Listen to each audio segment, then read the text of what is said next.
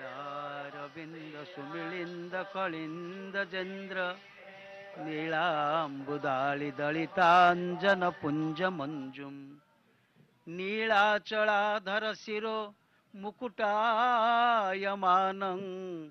नीलाम्बरानुजमजं शरणं व्रजामः अखिल ब्रह्माण्डनाथ श्री जगन्नाथ महाप्रभुଙ୍କର ଶ୍ରୀ ଚରଣାର ବିନ୍ଦରେ ଅନନ୍ତ କୋଟି ଭୂମିଷ୍ଠ ପ୍ରଣାମ ଏ ସଂସାରରେ ଯାହା କିଛି ହୁଏ ସବୁ ସେହି ମହାପ୍ରଭୁଙ୍କର ଇଚ୍ଛାକ୍ରମେ ହିଁ ହୁଏ ଏମିତି ଏକ ସମୟ ଥିଲା ଯେଉଁ ସମୟରେ ସଂସାରରେ କିଛି ନଥିଲା ଏକମାତ୍ର ପରମ ବ୍ରହ୍ମ ପରମାତ୍ମା ହିଁ ବିଦ୍ୟମାନ ଥିଲେ ଶ୍ରୀ ଜଗନ୍ନାଥ ମହାପ୍ରଭୁ ସେ ଇଚ୍ଛା କଲେ ଏକୋହଂ ବହୁଶ୍ୟାମ ପ୍ରଜାୟ ସେ କହିଲେ ମୁଁ ଏକ ଅଛି ବହୁରେ ପରିଣତ ହେବି ଏବଂ ଏ ସଂସାର ଧୀରେ ଧୀରେ ଧୀରେ ଧୀରେ ଧୀରେ ଧୀରେ ତାଙ୍କରି ଶରୀରରୁ ହିଁ ବିସ୍ତାର ଲାଭ କଲା। ତେଣୁ ଏ ସଂସାର ହେଉଛି ସର୍ବଂ ବିଷ୍ଣୁମୟମ୍ ଜଗତ। ଏ ଜଗତ ହେଉଛି ବିଷ୍ଣୁମୟ। ତାର କାରଣ ହେଉଛି ଏକମାତ୍ର ବିଷ୍ଣୁ ଯିଏକି ସମସ୍ତଙ୍କ ପୂର୍ବେ ଥିଲେ ସେ ହିଁ ଜଗତ ରୂପରେ ପରିଣତ ହେଲେ ଏବଂ ସେ ହିଁ ଜଗନ୍ନାଥ ରୂପରେ ଏଠାରେ ବିରାଜମାନ କଲେ ସେ ହିଁ ଜଗତ ଏବଂ ସେ ହିଁ ଜଗନ୍ନାଥ ତେଣୁ ଇଏ ଆମ ମହାପ୍ରଭୁଙ୍କର ନାମ ହେଉଛି ଜଗନ୍ନାଥ ଅର୍ଥାତ୍ ସେ ହିଁ ଜଗତ ରୂପରେ ପ୍ରତିଭାତ ହେଇଛନ୍ତି ଏବଂ ସେ ହିଁ ଏଇ ଜଗତର ଜନ୍ମକର୍ତ୍ତା ଏଇ ଜଗତର ପାଳନକର୍ତ୍ତା ଏଇ ଜଗତର ସଂହାରକର୍ତ୍ତା ଭାବରେ ଏଠାରେ ପରମବ୍ରହ୍ମ ପରମାତ୍ମା ରୂପରେ ବିରାଜମାନ କରୁଛନ୍ତି। ଆମେ ଦେଖୁଛେ ବର୍ତ୍ତମାନ ଯୋଉ ଜଗତକର୍ତ୍ତା ଶ୍ରୀ ଜଗନ୍ନାଥ ମହାପ୍ରଭୁ ଏଠାରେ ବିରାଜମାନ କରିଛନ୍ତି ତାଙ୍କୁ ଆମ ଭାଷାରେ ଆମେ ବଡ଼ ଠାକୁର ବୋଲି କହୁ ଏବଂ ଆମ ବଡ଼ ଠାକୁର ଯୋଉ ମନ୍ଦିରରେ ବିରାଜମାନ କରୁଛନ୍ତି ସେ ମନ୍ଦିର ହେଉଛି ବଡ଼ ବଡ଼ ମନ୍ଦିର ବା ବଡ଼ ଦେଉଳ। ବଡ଼ ଦେଉଳ। ଆମ ଆମର ଓଡ଼ି ଓଡ଼ିଶାର ଭାଷା ହେଉଛି ଦେଉଳ। ତେଣୁ ବଡ଼ ଦେଉଳରେ ବଡ଼ ଠାକୁର ବିଜେ କରିଛନ୍ତି ଏବଂ ସାରା ବିଶ୍ୱରେ ଦେଖିବେ ଓଡ଼ିଆ ଜାତିକୁ କାହିଁକି କେଜାଣି ଜଗନ୍ନାଥ ମହାପ୍ରଭୁ ଧନ୍ୟ କରିଦେଇଛନ୍ତି। ଆପଣ ଦେଖିବେ ଓଡ଼ିଆ ଭାଷା କ'ଣ କେବଳ ଏଇ ଯେଉଁ ସାଢ଼େ ଚାରି କୋଟି ଲୋକ ଏଇ ଯେଉଁ ଭୂଖଣ୍ଡରେ ଅଛନ୍ତି ଏମାନେ ଓଡ଼ିଆ କହୁଛନ୍ତି ତେଣୁ ଏମାନେ ଓଡ଼ିଆ। ତେଣୁ ଆମ ଓଡ଼ିଆମାନଙ୍କୁ ଧନ୍ୟ କରିବା ପାଇଁ ଅଖିଳ ବ୍ରହ୍ମାଣ୍ଡ ନାଥ ପରମ କାରୁଣିକ ଆନନ୍ଦ କନ୍ଦ ସଚ୍ଚିଦାନନ୍ଦ ଚିନ୍ମୟ ଘନ ଅଶରଣ ଶରଣ ପଦ୍ମ ପଲାଶ ଲୋଚନ ଅଖିଳ ବ୍ରହ୍ମାଣ୍ଡ ନାଥ ଶ୍ରୀ ଜଗନ୍ନାଥ ମହାପ୍ରଭୁ ଏଇଠାରେ ହିଁ ବିଜେ କଲେ ଏବଂ ସାରା ବିଶ୍ୱ ତାଙ୍କୁ ଚାହିଁକିରି ବସିଛନ୍ତି। କି ଉଦାତ୍ତ ସଂସ୍କୃତି କି ଉଦାର ଚରିତ୍ର ଏଠାରେ ରହିଛି। ଏଠାରେ ପରମ ବ୍ରହ୍ମ ପରମାତ୍ମା ଯେଭଳି ଭାବରେ ପୂଜ୍ୟ ଯେଭଳି ଭାବରେ ନମସ୍ୟ ତାଙ୍କର ମୁଖୋଚ୍ଛିଷ୍ଟ ମହାପ୍ରସାଦ ମଧ୍ୟ କଣିକାଏ ପାଇବା ପାଇଁ ଦେବତାମାନେ ମଧ୍ୟ ହାତ ପତେଇ ଦେଉଛନ୍ତି। ଜଗନ୍ନାଥ କେ ଭାତ ଜଗତ ପସାରେ ହାତ। କ'ଣ ନ ହେଉଛି ଏ କ୍ଷେତ୍ରରେ? ଇଏ ହେଉଛି ସାରା ବିଶ୍ୱର ଆଧ୍ୟାତ୍ମିକ ରାଜଧାନୀ। ଆପଣ ଦେଖନ୍ତୁ ସାରା ବିଶ୍ୱର ଆଧ୍ୟାତ୍ମିକ ରାଜଧାନୀ। ବାସ୍ତବିକ କେତେ ଅଧ୍ୟାତ୍ମ ପରିବେଶ ଏଠାରେ ସୃଷ୍ଟି ହେବା ଦରକାର। ଆଧ୍ୟାତ୍ମିକ ପରିବେଶରେ ସାରା ବିଶ୍ୱକୁ ଉଦ୍ବୁଦ୍ଧ କଲା ଭଳି ଏହା ଏକ ସ୍ଥାନ। କିନ୍ତୁ ବିଡ଼ମ୍ବନାର ବିଷୟ ଶହ ଶହ ବର୍ଷ ଧରି ସାତଶହ ବର୍ଷରୁ ଉର୍ଦ୍ଧ୍ୱ କାଳ ଧରି ଏହି କ୍ଷେତ୍ରରେ କେତେ ଯେ ରାଜା ମହାରାଜା ମାନେ ଶାସନ କରିଛନ୍ତି ଏବଂ ଏଠାରେ ଗଙ୍ଗବଂଶୀ ରାଜା ସୂର୍ଯ୍ୟବଂଶୀ ରାଜା ଚାଲୁକ୍ୟବଂଶୀ ରାଜା ଏବଂ ବର୍ତ୍ତମାନ ଯେଉଁ ରାଜା ଶାସନ ୟାଙ୍କର ବଂଶ ମଧ୍ୟ ଚାରିଶହ ପଚାଶ ବର୍ଷରୁ ଉର୍ଦ୍ଧ୍ୱ କାଳ ଧରି ଶାସନ କରୁଥିଲେ। କିନ୍ତୁ ଆମର ପରମ ପୂଜ୍ୟ ଗଜପତି ମହାରାଜା ଆଜିର ଆମର ସମସ୍ତଙ୍କର ବରେଣ୍ୟ ତାଙ୍କର ସଦିଚ୍ଛା ଏବଂ ଯେଉଁ ଦିନ ଆମର ପ୍ରିୟ ମୁଖ୍ୟମନ୍ତ୍ରୀ ଏକଥା ଘୋଷଣା କଲେ ମୋର ମନେ ପଡ଼ୁଛି ସେଦିନ ଆମର ଗୋଟିଏ ସଭା ଚାଲିଥାଏ। ସେ ସଭାରେ ଗଜପତି ମହାରାଜା ଆଶ୍ଚର୍ଯ୍ୟାନ୍ୱିତ ହେଲେ କହିଲେ ଆମ ମୁଖ୍ୟମନ୍ତ୍ରୀଙ୍କ ମୁଣ୍ଡରେ ଏକଥା ପଶିଲା କେମିତି? ଏବଂ ତାହା ମଧ୍ୟ ସେଦିନ ଶିରୋନାମା ସାଜିଥିଲା। ସେଦିନ ସବୁ ପେପରରେ ଏଇଟା ଶିରୋନାମା ସାଜିଥିଲା। ବା ଏବଂ ତାହା ସେଦିନ ସେ ଖୁସି ହେଇଥିଲେ ଏବଂ ଏହାକୁ ଏହା ଏକ ସ୍ୱପ୍ନ ବୋଲି ଭାବିଥିଲେ। କିନ୍ତୁ ଗଜପତି ମହାରାଜା ଆମର ତାଙ୍କୁ ଆମେ କ'ଣ ବା କହିବା?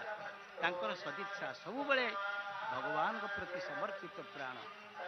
ତେଣୁ ସେ ଇଚ୍ଛା କଲେ ପ୍ରଭୁଙ୍କର ଏ କାର୍ଯ୍ୟଟି କେମିତି ହେବ ଏବଂ ତାଙ୍କରି ସଦିଚ୍ଛା ଜଗନ୍ନାଥଙ୍କର ଆଶୀର୍ବାଦ ଏ ସବୁକୁ ସମନ୍ୱୟ କରି ରାଜ୍ୟ ସରକାର ଆଜି ଏହି ପ୍ରକଳ୍ପର ପୂର୍ଣ୍ଣାଙ୍ଗ କରିବାକୁ ଯାଉଛନ୍ତି ଲୋକାର୍ପଣ କରିବାକୁ ଯାଉଛନ୍ତି। ଏବଂ ଏହି ପୁଣ୍ୟ ଅବସରରେ ଆମର ପୂଜ୍ୟ ଗଜପତି ମହାରାଜା ଶ୍ରୀ ଶ୍ରୀ ଦିବ୍ୟ ସିଂହଦେବ ପଦାର୍ପଣ କରିବେ ଏବଂ ପୂର୍ଣ୍ଣାହୁତି ପ୍ରଦାନ କରିବେ।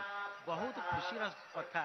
ଆଜି ସାରା ସାଢ଼େ ଚାରି କୋଟି ଲୋକଙ୍କର ଆଜି କେନ୍ଦ୍ରବିନ୍ଦୁ ପାଲିଟିଛି ଏହି ପରମ ପାବନ ପୁରୁଷୋତ୍ତମ କ୍ଷେତ୍ର ଶ୍ରୀକ୍ଷେତ୍ର ତେଣୁ ଏହି ଶ୍ରୀ ବିମଣ୍ଡିତ କ୍ଷେତ୍ର ଶ୍ରୀକ୍ଷେତ୍ର ଆଜି ପ୍ରକୃତରେ ଶ୍ରୀ ବିମଣ୍ଡିତ ହେଇଛି ଏ ପର୍ଯ୍ୟନ୍ତ ମେଘନାଦ ପାଚେରୀକୁ ଆମେ ଦେଖିପାରୁଥିଲେ ଭଲ ଭାବରେ କିନ୍ତୁ ଦେଖନ୍ତୁ ଆଜି ମେଘନାଦ ପାଚେରୀର ଦୃଶ୍ୟ ସମସ୍ତେ ବିମୋହିତ ହେଉଛନ୍ତି ତା ଉପରେ ଯେତେବେଳେ ବିଦ୍ୟୁତର ଆଲୋକ ବିଚ୍ଛୁରିତ ହେଇ ପଡ଼ୁଛି ତାହା ମନରେ ଶିହରଣ ସୃଷ୍ଟି କରୁଛି ଏବଂ ଆଜି ଆମେ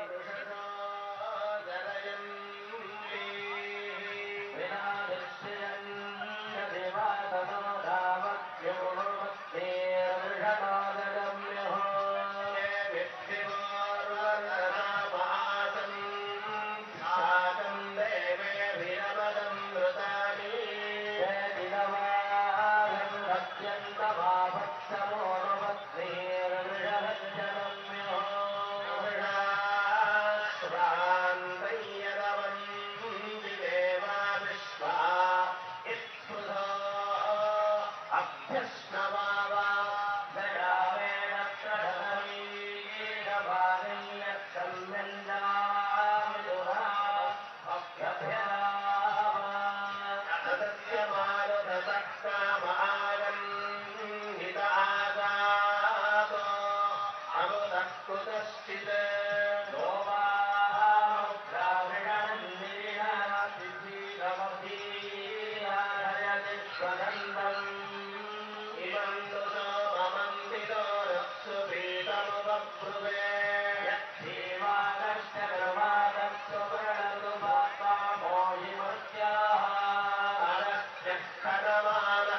it's crazy.